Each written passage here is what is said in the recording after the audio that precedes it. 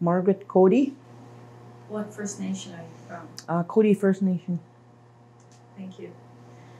Margaret, could you tell us how the people lived uh, a long time ago before treaty, how they governed and how the leaders were picked? You know, just a general um, overview of that, as well. Um, if you're comfortable to speak in your language, I would. Uh, it's okay to speak it or in English if you want.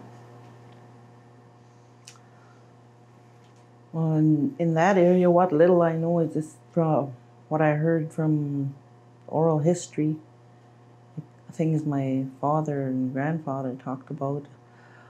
Um, back then, it was uh, hereditary chiefs.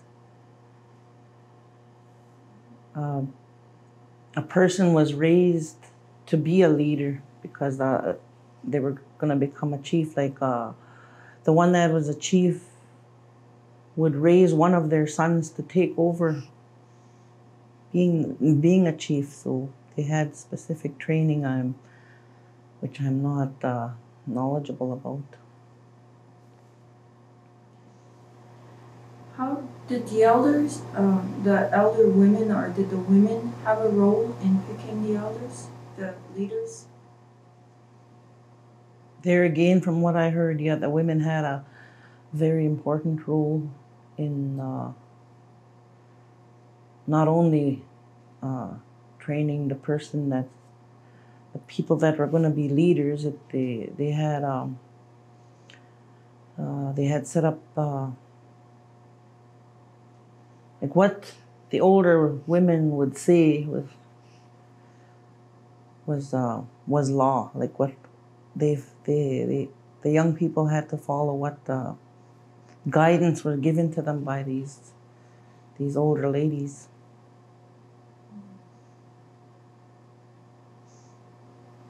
How how did the women um,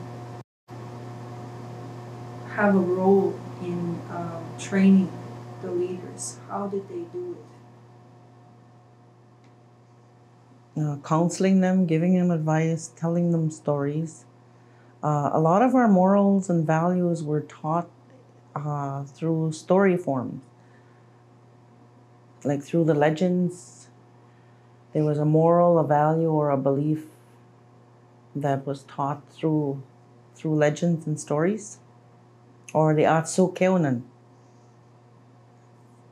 The Atsu Keonan, I, I, I usually like to refer to them as ancestor stories instead of legends, ancestor stories, because um, Atsu Kanak are spirits, ancestor spirits.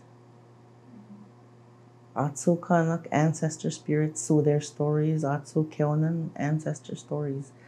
Um, nowadays, uh, the English terms myths and legends, to me, it's like they're not true. Well, even if they're not, uh, they they teach a truth.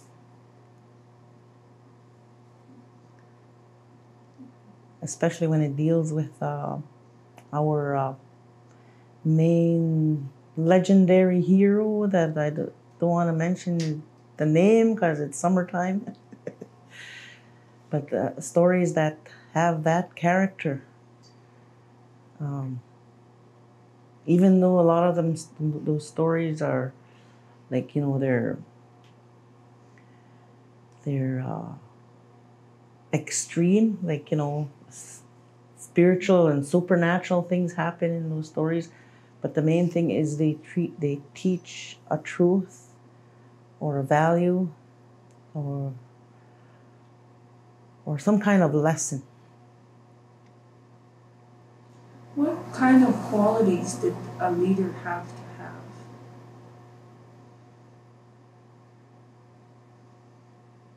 they had to be uh,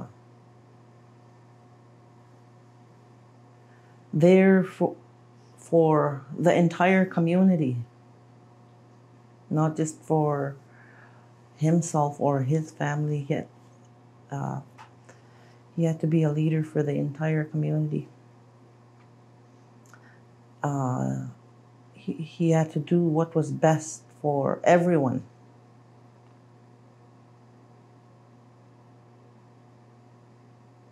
there again, I'm not, I'm not really that knowledgeable in that part of the our history.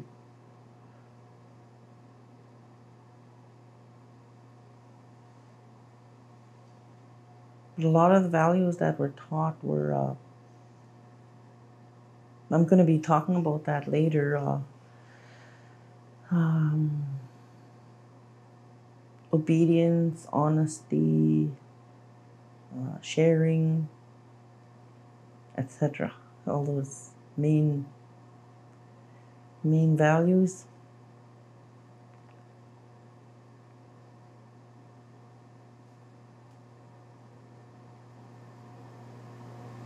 Did the how do you think that uh, these traditions and these values would help um, the leadership today?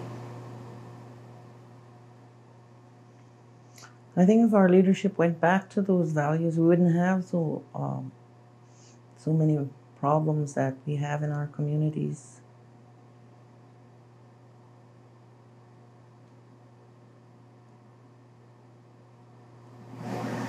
Do you see traditional governance in communities today?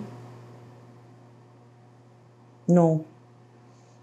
It'd be nice if we can, if uh, I think it would be nice if we can go back to um, practicing more of those uh, traditional values in this this day and age. too many of the communities are following the uh, non native way of governing. Like our communities, because of the election system, it just turns communities upside down every two, three years.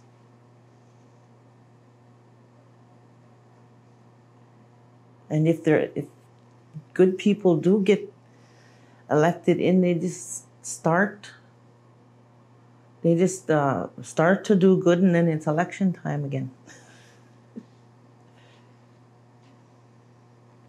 what were the changes that occurred with treaty signing um, well I've seen there's been a change in uh, all three components of our culture, mainly the survival, like the survival, um, how people obtain uh, their food, their shelter. That has gone through a lot of changes. And uh, another component is the social. That's where a lot of change has occurred, especially with. Um, the way the members of the community communicate with through language, ceremonies. Um, at the time of the signing of the treaties, our language was in full use. Everyone in the community used it. And now,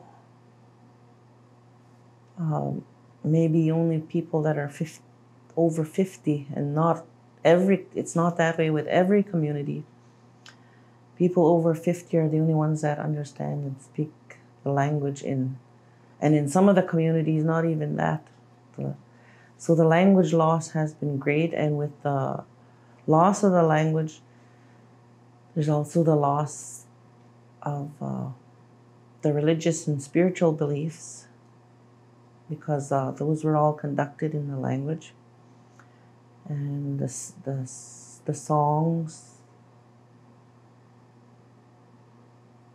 and the dances.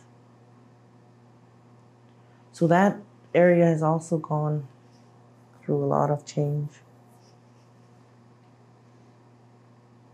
And the way, uh, yeah, the the way a community uh, uh, govern themselves, like, see the with the loss of the language and the loss of the stories and the ceremonies, that's where uh, right and wrong were taught to the young people through in these ceremonies and in the stories and the legends. The morals, the values, the difference between right and wrong, that was all taught through the language, and the loss of the language, there's the loss of all that.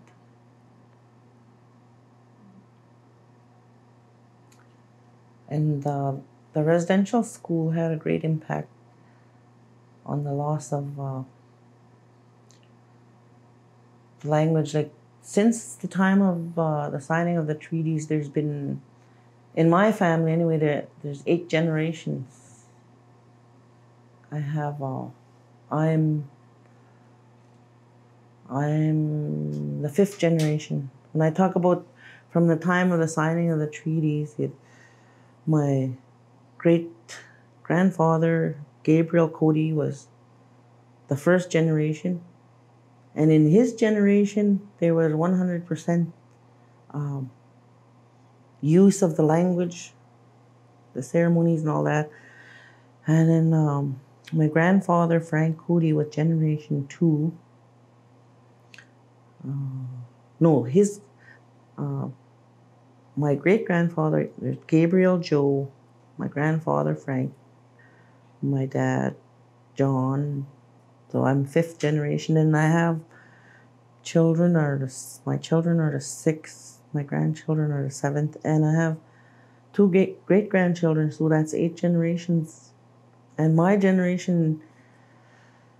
My children are in their 30s and early my uh, 41 32 to 41 and they can understand they understand some they understand uh, quite a bit of the language, but their generation hasn't used it. They haven't been using it, and so they haven't passed it on to my grandchildren, and uh, so maybe there's not even five percent usage. Words that seem to survive are slang and slang and swear words. To tell you the truth, is only in those generations the the sixth and seventh, no one uses the language anymore to communicate.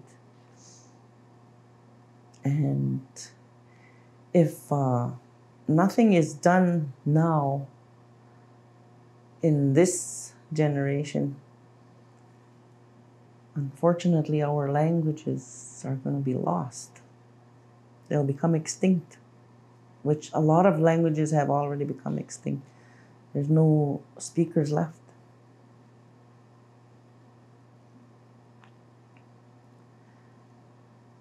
I guess that's one of the reasons why I've stuck with my my work of teaching the, the language for 28 years.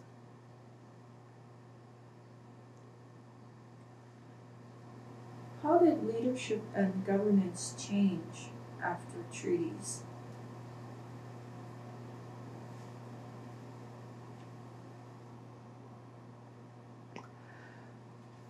Well, when people were put on the reserve, then they um, um, everyone had to follow the the laws of the the rest of society. They had to be governed by the the the laws they had to follow were those by the by the police this that's one area I've never I never really uh, did any any studying about uh, governance and law. All I know is just the little bit I've been told, and that's not very much. How did the role of women change after treaties?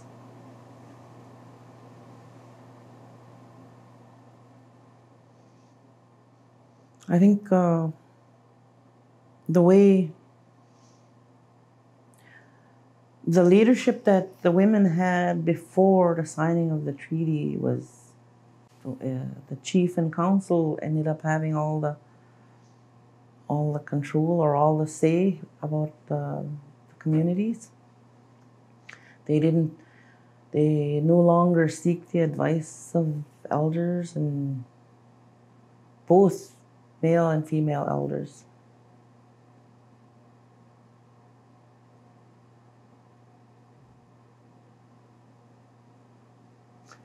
There again, uh,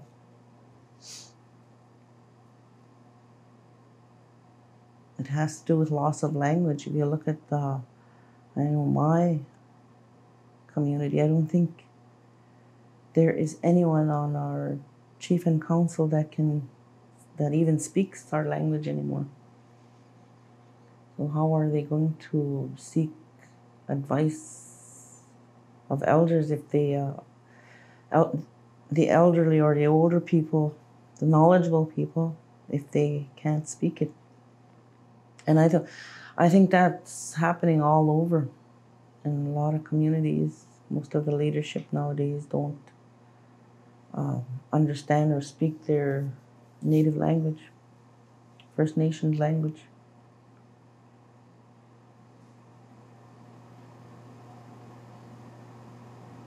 How did the people make a livelihood before treaties? Off the land, hunting, fishing, trapping.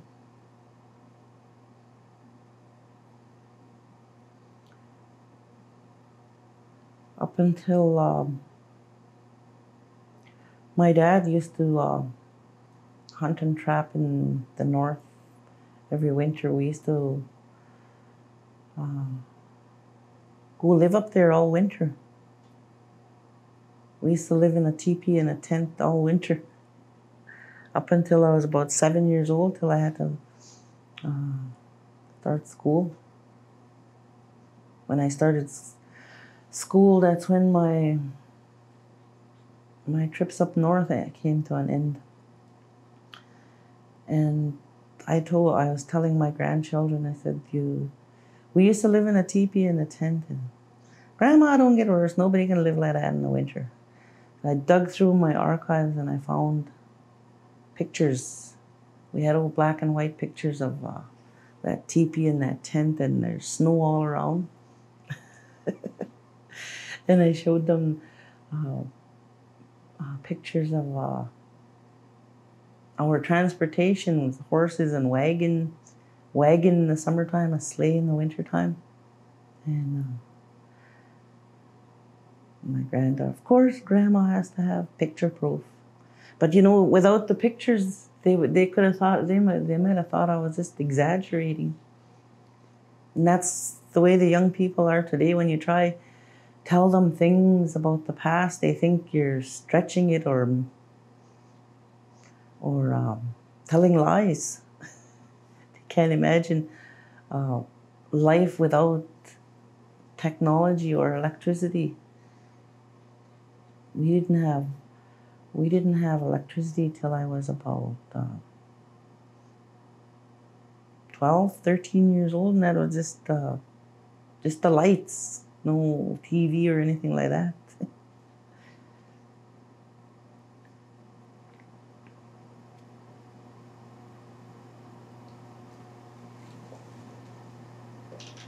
How how do we understand? what is the understanding about the treaty promise for education?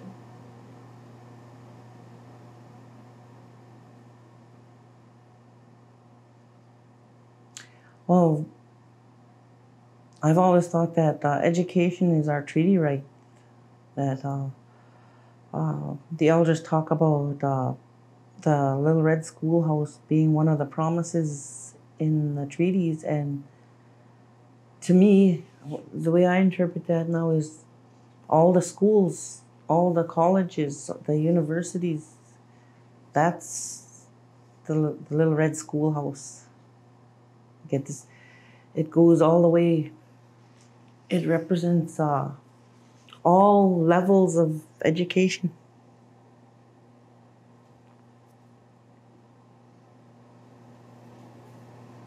What about the treaty promise for health? The same with the with the health. Uh, they promise the medicine chest, and there again, the, the, the medicine chest represents all forms of healthcare.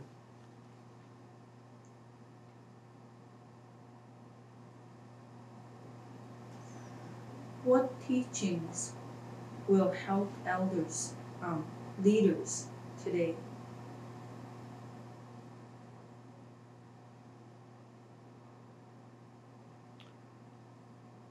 I think the teachings of the the the traditional values, if they can be brought uh, brought into today's uh, this today's um, leadership, they could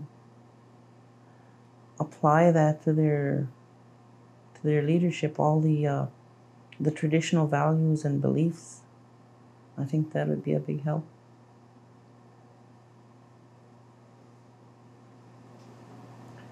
How do you think they should be taught?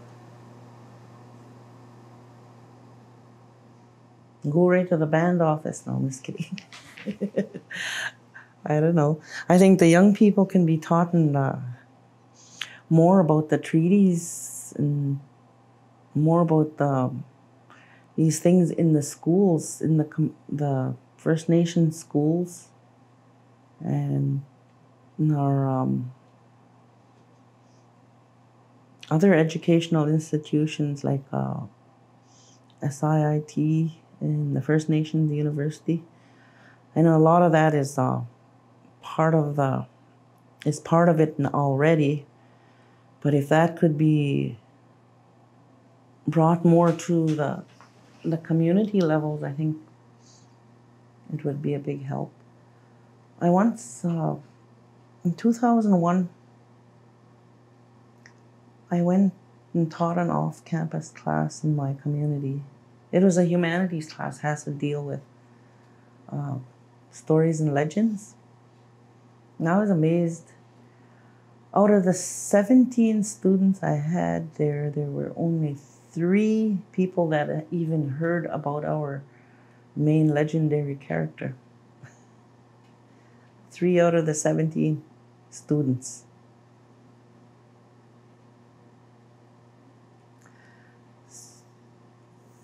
So that's why um,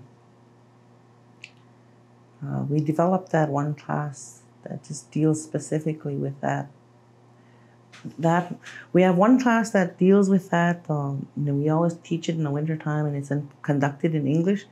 Then in our degree program, we have other classes that deal with the oral tradition, stories and legends in the native language, in our, in Saulteaux and Cree.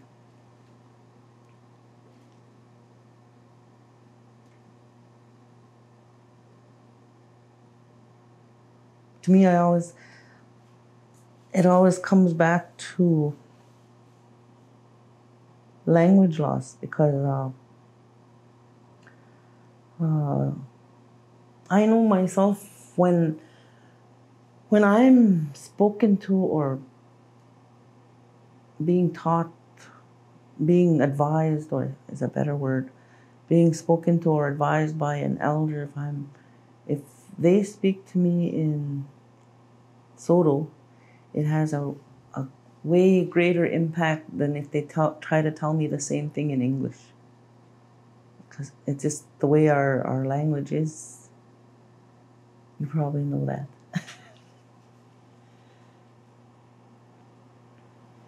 so, going back to um, the livelihood before treaties, you mentioned that was hunting and trapping.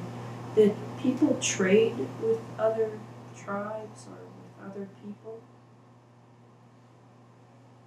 Yeah, there was a lot of trading. Um,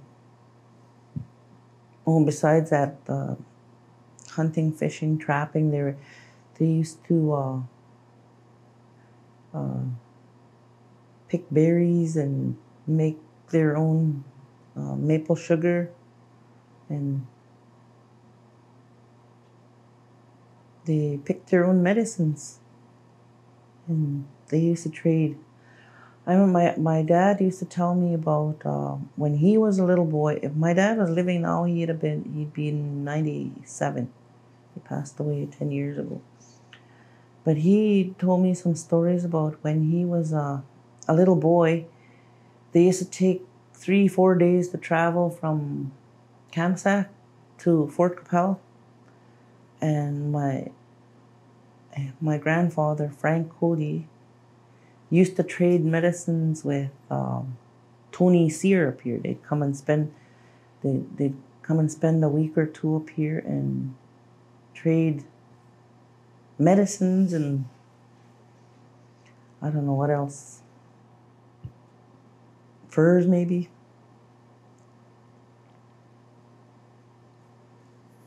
That's one one story my dad talked about. It used to take uh, that many days to come over here with a team of horses in a wagon.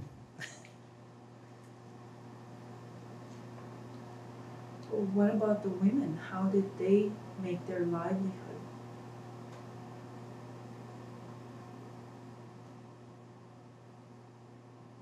The same. They made all their all their clothes from the animals. Are you talking about before before the the, the fur traders and all that Hudson Bay came? Well, I, all I know is that the stories they tell that uh, everything everything every form of livelihood came from the land all the food, the shelter, the clothing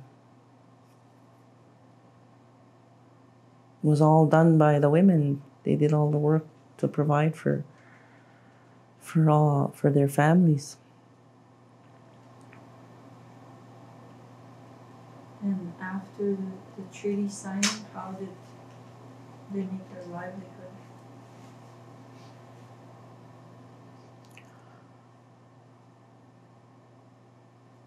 Well, from some of the stories I heard, is uh, a lot of them went into fur trading, and then uh, also uh, some of them went into farming. They were given uh, plows and oxen, and a lot of them went into farming on the reserves.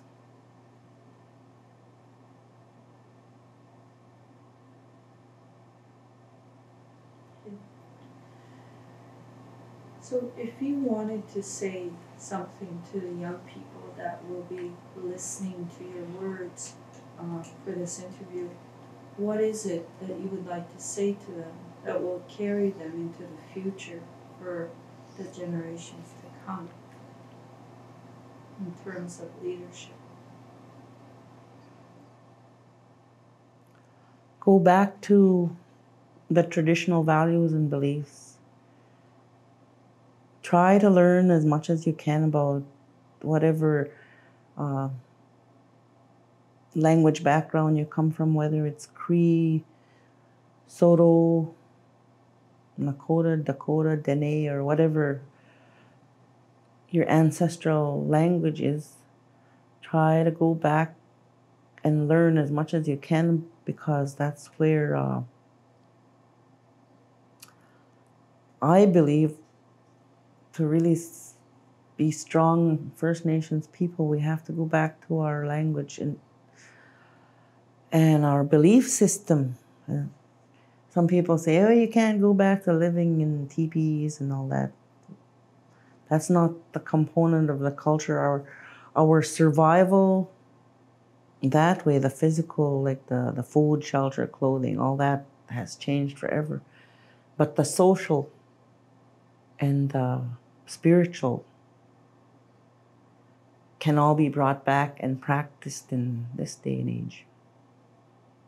Because along with that comes our uh, traditional values and beliefs, our kinships and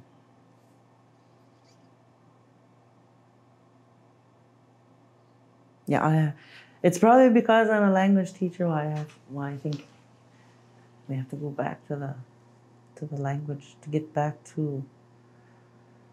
I don't think we'll ever totally get back to the way things were, but I think it would be a big help if uh, we had more people, more younger people learning to speak uh, our languages.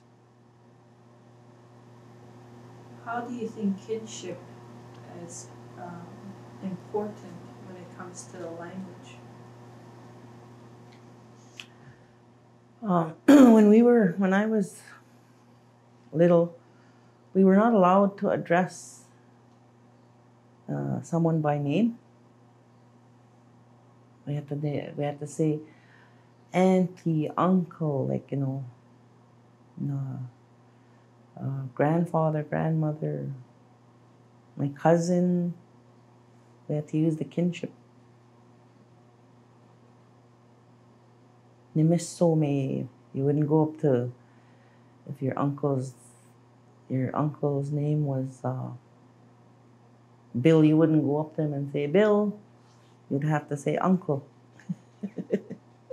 and um, I think um, there's more respect when you use kinship terms to address people, or even this my friend and we had this kinship with all of creation. And when you have that kinship with uh, things from the land, then there's more respect. We refer to the sun as our grandfather, the moon as our grandmother, the earth as our mother, and uh, everything in creation the grandfather trees, grandfather rocks, no, when you have a kinship with the land, then there's, there's more respect. The, you take care of it more, better. I guess that's it. So those kinship terms are very important, even in leadership. Yes, with the leaders too. They, if they would um, have that kinship with their fellow, with everyone, not just their, the people they work with. What is the Saulteaux word for um, chief? Ogimakan. There's a bit of history there. Um, prior to the signing of the treaties, they, our leaders were called Okima. Okima was a leader, a boss. And uh, after the election system, I often wondered why did they add that Khan on there? Okima Khan. That Khan has uh, it. It means something fake, not real. Like for example, a bear is makwa, uh, a little bear is makons, but a teddy bear is Makons Khan, a fake little bear. Or a clock. Uh, we tell the time by the sun, Kizis. So a clock is Kisokan, a fake sun. So what does that tell you about Okima Khan? They haven't, because of the election system, I think our people saw that they didn't have the the same leadership or authority that the old chiefs who were called Okima had when they were elected, they were Okima Khan, fake chiefs. I know a lot of the um, chiefs are not going to like that term, but it's there, it exists, and it has that history of why it changed.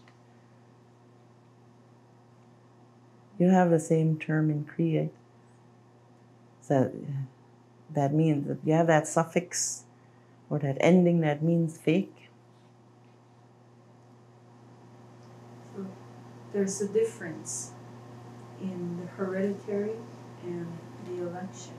So that does affect leadership. I've often wondered why that